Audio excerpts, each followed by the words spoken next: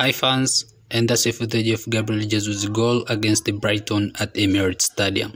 So please like and subscribe for my daily updates.